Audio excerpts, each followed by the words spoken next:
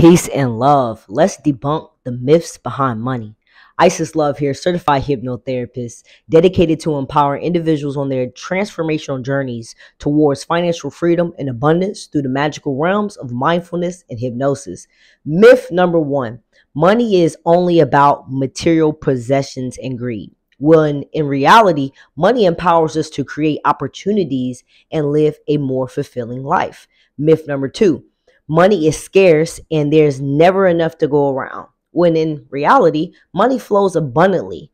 When we cultivate a positive money mindset and a abundant consciousness, it flows with grace and ease. Number three, money is the root of all evilness and it corrupts people. When in reality, money is a neutral tool and it amplifies our intentions and allows us to make a more positive impact in the world. It's time to shatter these limiting beliefs and open ourselves up to the world of financial abundance and prosperity.